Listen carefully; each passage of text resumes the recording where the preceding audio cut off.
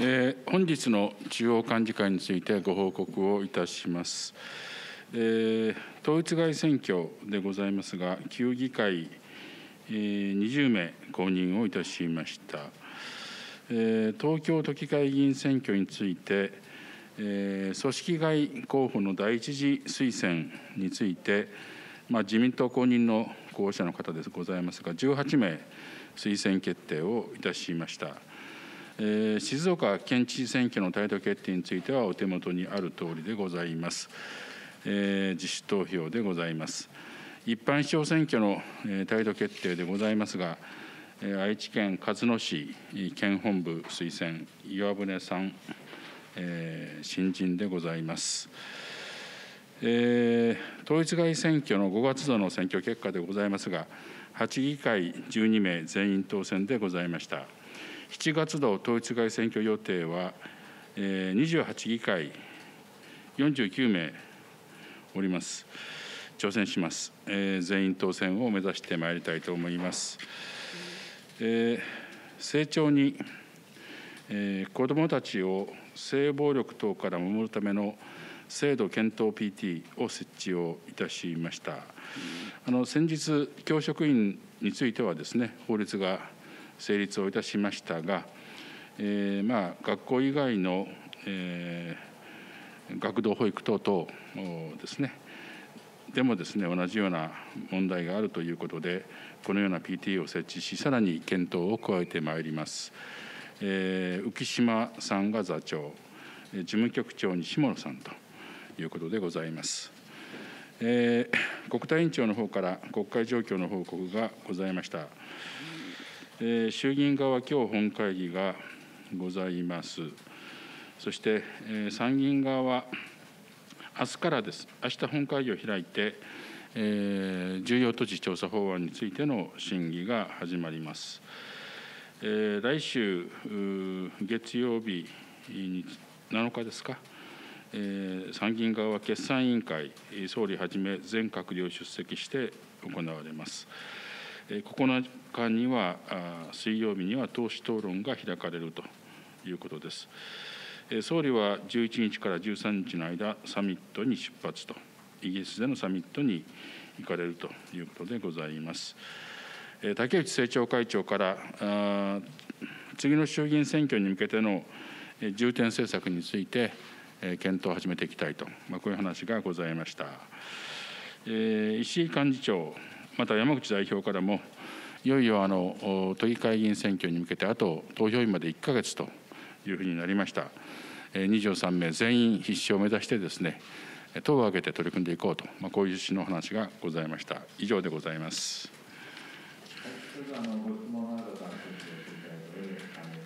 からお願いいたします。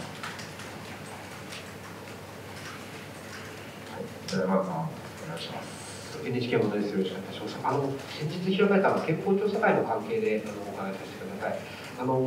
まあ、今後の進め方とですね、あとはその、まあ、党としてあの、まあ、改正も含めて、あとはその、えー、先日議論だったオンラインでの国会出席などですね、この、まあ、議題などに向けて、党として考え方をまとめていくものだと改めてお願いします。はいあの先日ですね、一応2つのテーマ、について議論をさせていただきました。まあ、一つはあ緊急事態における国会機能をどう維持をしていくのかと、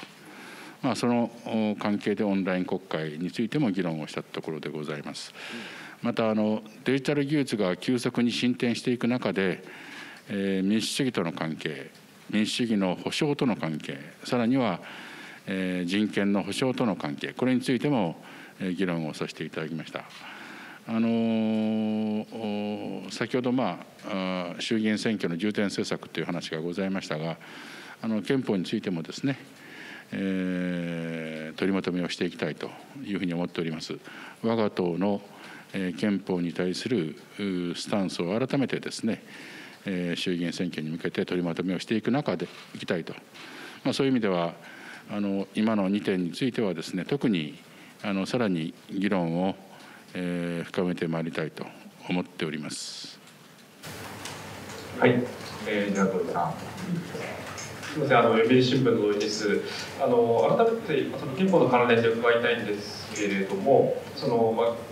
オンライン国会というのはある意味緊急時における国会機能をどう維持するかという観点であると思うんですけれども自民党さんが言っている緊急事態条項その、まあ、資源制限やその国の権限強化というところまで言ってると違うのかなと思うんですけれども自民党さんの言ってることとのその関係についてどう整理されてるか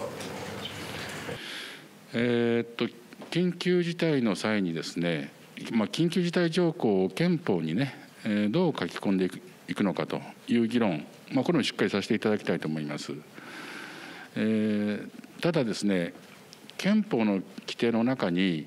さまざまな緊急事態といってもさまざまありますよね災害もあれば、まあ、今回のような感染症がね拡大をしている場合もあればさらには他のね場面もあるかもしれません。でそれぞれの緊急事態によってですねその政府があどういう平時とは違うね権限を持つべきなのかだとかそれから、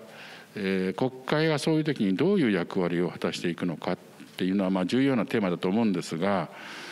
憲法規定の中にですねそうした詳細なことを果たして書けるのかっていう気は以前からしております。むしろあの憲法規定の中にはですね公共の福祉の規定が当然あってえー、試験に対するね当然制約はなされていく場面がある営業の自由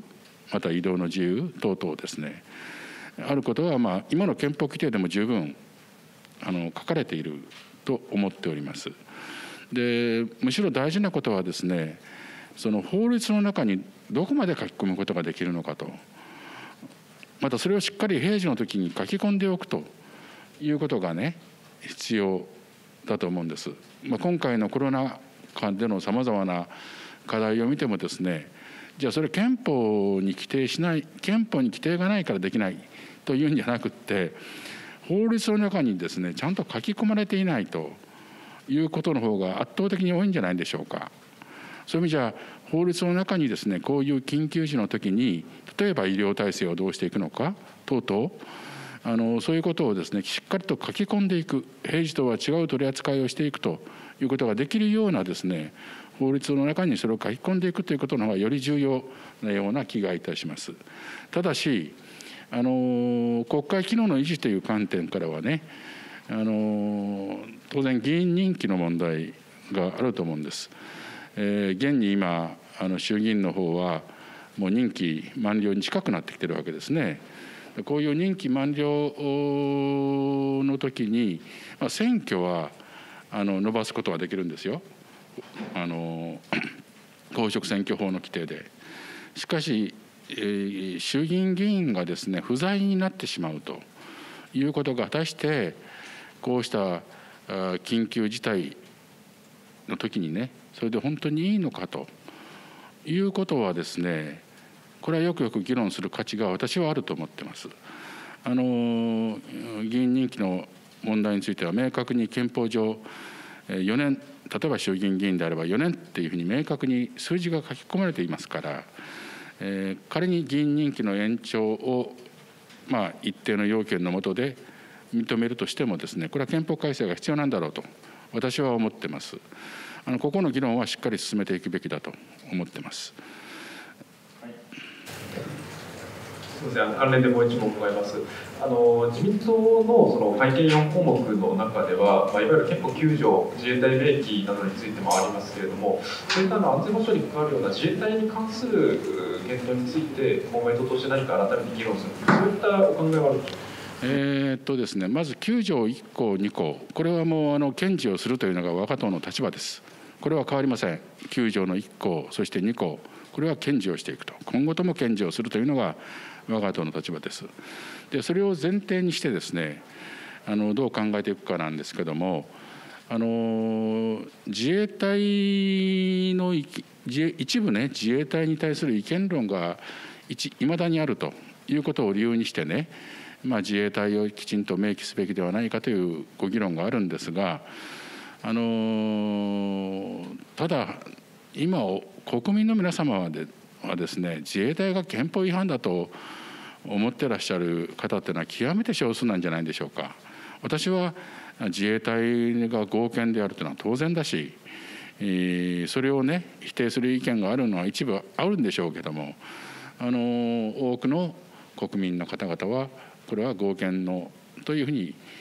おっしゃってあの考えてらっしゃると思います。あのただその自衛隊というまあ非常に我が国の一番の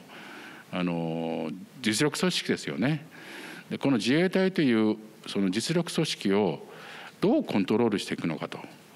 いうことはねこれは議論する価値があると思ってます。海外の憲法の例を見まし見てもですねあの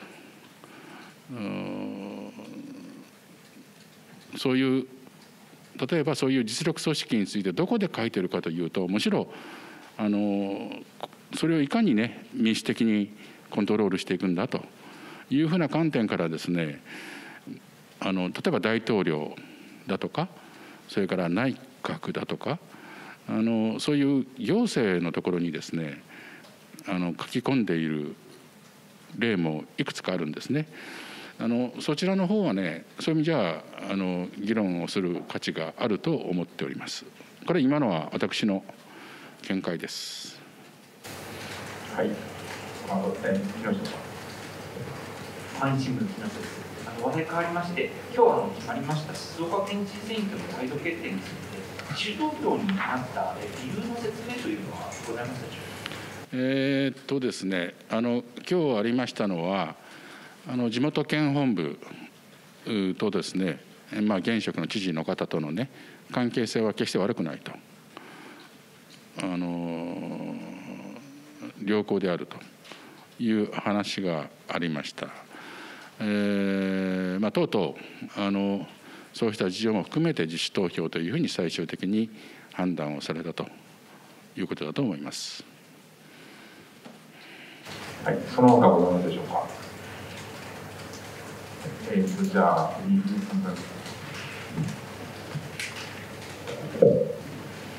時事の峰です。あのオリンピックに関連してお伺いしたいんですけれども、あの先日あのあの専門家委員会のあの尾身会長があの国会の厚労委員会の方であのオリンピックについて現在のパンデミックでは普通はないだろうと。で何のためにやるのか目的が明らかになっていないし関係者がビジョン理由を述べることが極めて重要でそれがないと一般の人は、まあ、対策に協力しようとは思わないだろうというそういった趣旨のことを発言したんですけれどもこの発言の受け止めと折についてあの政府にどういった対応だとか説明を求めていきたいかについてお考えを伺いできればと思います。あの尾身さんのご指摘はですねあのその通りだと思います。あのぜひね政府におかれては特にまあ菅総理におかれてはですね、えー、そのオリンピックの意義についてねやはりあの国民にの皆様にあのもう一度ね改めてなぜオリンピックを開催するのかという説明をねぜひあのしっかりやっていただきたいと思うんです。えー、先ほどあのちょっと今後の国会の状況ご報告しましたけども、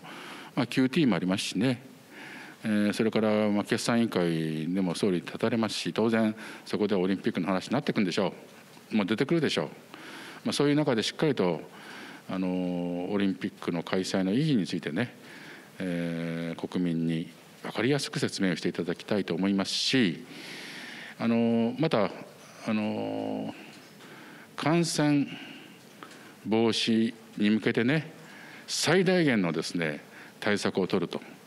いう前提のもとで今さまざま具体的な取り組みがあの進んでいると思うんです。これをねこれもこれもまたこういう形で、えー、国民の命健康を守っていくんだということもきっちりねあの具体的にあのおっしゃっていただければなというふうに期待をしております。はい、えー、他にございますか？すみません、あの読売の土井です。あの冒頭ご発言あった都議選の関係なんですけれども、改めてそのコロナ禍がまだ続いている中で、どういった対応しようっていうご発言があったのか、あのご紹介いただきたいんですけれども。ああの幹事長や代表の発言ですか？いや、それはも必勝してやるということです。あのもちろんこういうコロナ禍の中ではありますからね、えー、感染防止には最大限のですねあの配慮注意をしながらですね、えー、重要な極めて重要な、えー、選挙でございますので、えー、その後の国政選挙にも大きな影響を与えると思っております。あの23名の全員当選を期してですね党を挙げてしっかり取り組んでいこうという話でございました。